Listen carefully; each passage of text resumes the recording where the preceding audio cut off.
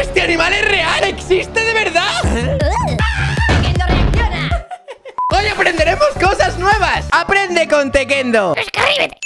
Este extraño animal que ves en ¡Ah, qué asco! ¿Qué es esto? Este extraño animal que ves en pantalla es un anfípodo, ¿Por qué? un crustáceo pariente de los camarones. ¿Por qué vivo en un mundo que existe esto? ¡Ah! Me dices que esto lo han encontrado en Marte y me lo creo ya mismo. Es transparente para camuflarse en la oscuridad de las profundidades del mar. ¡Oh! Lo anaranjado son sus ojos. ¡Ah! Es que además no lo voy a ver. Me va a atacar mientras me bañe en medio del océano. Estaré yo ahí. Vendrá por abajo. Tu, tu. ¡Ah! Chicos, dejad en los comentarios si os dan miedo las profundidades marinas. O si eres un valiente y no te da miedo nada. Os leo. Es que literalmente mi mente no puede comprender cómo puede ser que sea transparente. O sea, parece falso, parece el hombre invisible. Este video nos muestra cómo interactúan las corrientes oceánicas. A ver. El agua caliente es menos densa, por lo que se eleva por encima de la fría. Claro, por eso cuando te vas hundiendo tienes más frío Esto es un... ¡Aprende ciencia con Tequendo! ¿Cuántos años tenías cuando te enteraste de que los conejos pueden nadar? ¿Ah? Primera noticia, no me había enterado O sea, tengo 18 años ¿Y tú cuántos años tienes? Déjame en los comentarios ¿Sabías que podían nadar? El conejo marino Estoy flipando La pregunta es, ¿para qué quiere nadar un conejo?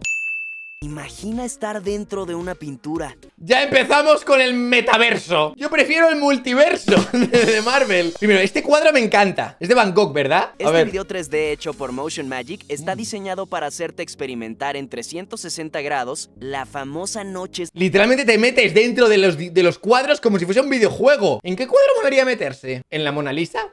¿Qué te contaría? He estado miles de años quieta en un museo. Se hacían selfies conmigo. Es guay, es guay.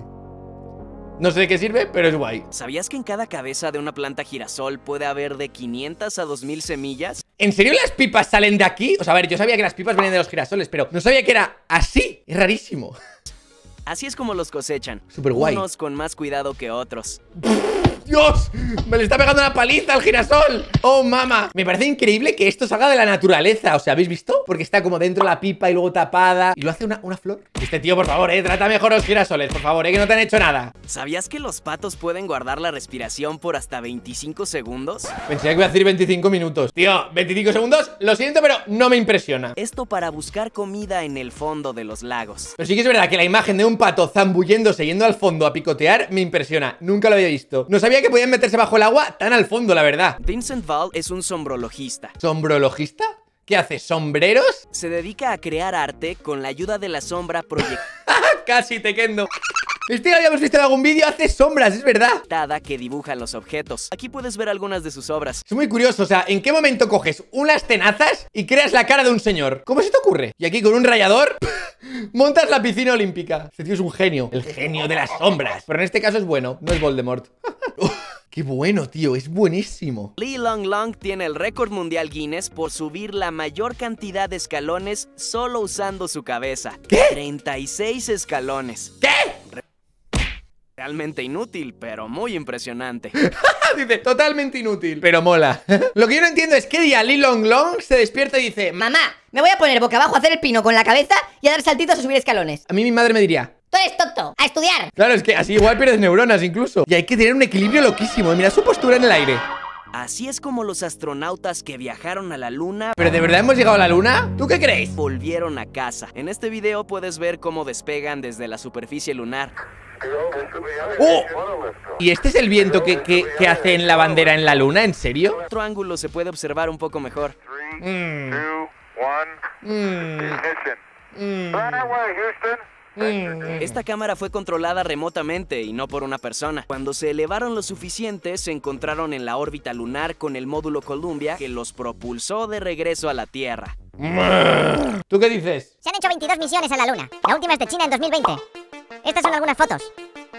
Este es el mensaje que los granjeros hacen en sus tierras para Esto es literalmente lo que, lo que harían los alienígenas, pero también lo hacemos nosotros. Tractores que simulan ser las ruedas de la bici. Estoy flipando, ¿eh? Esta gente tiene mucho tiempo libre, ¿eh? También hay que decirlo. Este raro animal es un proteo, ¡Ah! un tipo de salamandra que vive en un grupo de cuevas subterráneas en Bosnia y Herzegovina. ¿Un proteo? Me recuerda al ajolote mexicano, ¿no? Debe ser la misma especie. Ah, que una salamandra es esto. No sé por qué en mi mente una salamandra era otra cosa. Pues qué bonito, ¿no?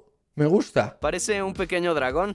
¿Ya viste sus pequeñas patas? Dios. No me puedo creer que viva en un mundo en el que existen cosas así, de verdad, ¿eh? Esto parece totalmente alienígena, tío. Así están distribuidos los huesos de un bebé. No sé por qué. Me ha recordado Wolverine. ¿Sabéis cuando le ponen las garras de adamantio? ¿Y por qué no se tocan los huesos del bebé? No creas que están separados como si estuvieran dentro de gelatina. Estos sí se unen unos con otros. Lo que pasa es que no es posible verlo en las radiografías debido a que el cartílago aún no se ha osificado. Yo lo veo y parece hasta falso. Poco a poco este se convertirá en hueso. Dios. Así se ve el juguete Elmo Cosquillas sin tela y peluche. Eh, da un poco de miedo, ¿no? Buena suerte durmiendo hoy. Dios.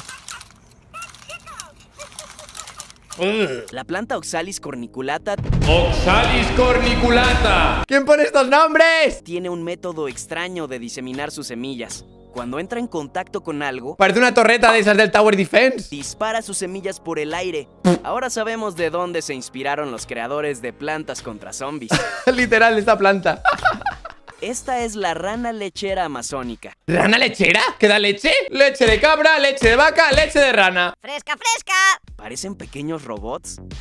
¿Eh? El tsunami más grande registrado a la fecha ocurrió el 9 de julio de 1958 LOL. Tsunami es cuando hay un terremoto en el fondo del mar y viene una ola gigante. en la bahía de Lituya, en Alaska, generando una pared de agua que se elevó a 524 metros de altura. Dios. O sea, más alto que los rascacielos. Obsérvalo comparado con el Titanic y el edificio más alto del mundo. Una ola de casi medio kilómetro. ¡Ah!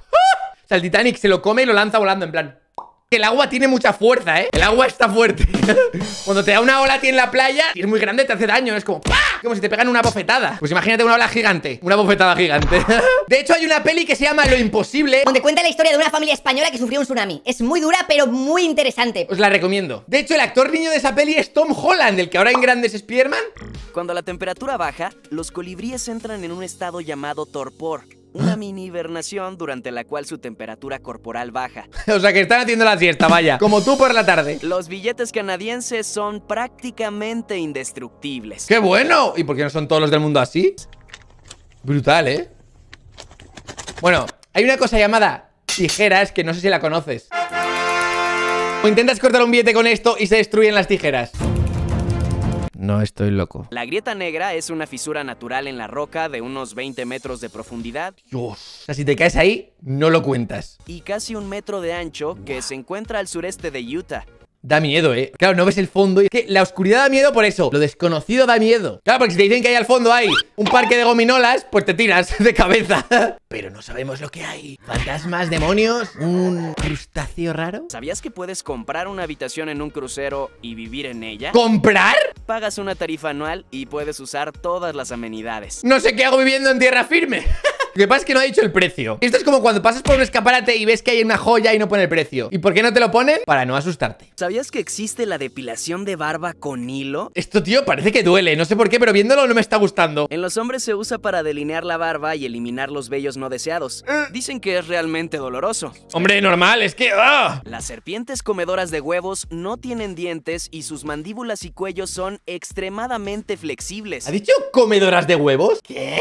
Bueno, nosotros comemos huevos. Pero claro, cogemos el huevo y ¡pum! lo rompemos y hacemos... Huevos revueltos, huevos rotos, no de tortilla patatas. Pero esta cosa atroz, no me digas que se traga los huevos tal cual, en plan... glup. Observa cómo esta Eh, no le puede caber, no le puede caber en la boca. Pues su boca es minúscula. observa cómo esta devora un huevo del triple del tamaño de su cabeza. ¡Ah! ¡Ah! ¡Ah! Pero qué locura es esta. No le duelen los mofletes. no lo puedo creer. ¿Qué narices es esto? Y luego, ¿cómo hace la digestión de un huevo? no entiendo nada. ¿Por qué no lo abre y se lo come? Cada vez la naturaleza me sorprende más. Dios. Qué atrocidad. ¡Míralo, míralo! No lo puedo creer. Van como muy despacio, ¿no? Van como muy lentamente, como muy poco a poco. ¿Qué es esto? Y ya lo tiene dentro, y ya lo tiene dentro En serio, ¿cómo puede una serpiente tan minúscula comerse un huevo tan grande? Si es el doble que ella Que lo intenta y parece que va a ser imposible Pero si avanzamos un poco Pero ¿qué tardan? Una hora en comérselo ¡Qué animalada! Almost one hour ¡Oh! ¡Ya lo tiene! ¡Ya lo tiene! ¿Imagináis que se abre el huevo dentro y hace el pollo? No tiene sentido Está luego cebadísima Está como... Y ahora lo va moviendo por dentro Dios ¡Ah! Y luego queda así cuando hace popó Succionará lo de dentro y sale esto Ah.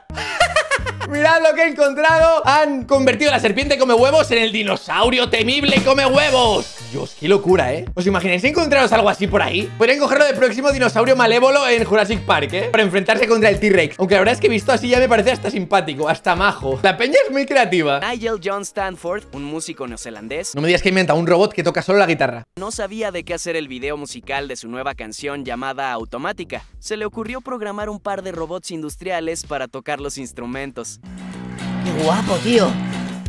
Pero ¿cuánto te ha costado comprar estos robots? Porque esto es carísimo, ¿eh? Es de locos. Conciertos de robots.